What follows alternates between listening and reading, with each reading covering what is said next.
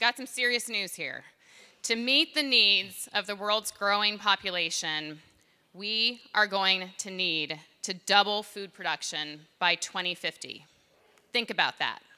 Double the world's current food production. And we need to accomplish this in a time of severely limited supplies of fresh water, intense pressures on energy, and increasingly scarce arable land. To make sure no one goes hungry, our food production system is going to need to see an innovation revolution.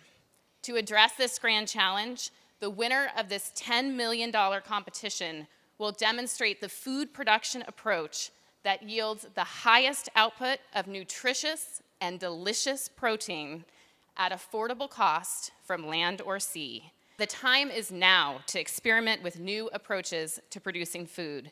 We can harness recent advances in protein science and aquaculture, and that's the only way we can close the food gap. We have each been fortunate to be raised in abundance, and now we need to share that with the future. Together, we're going to feed the future.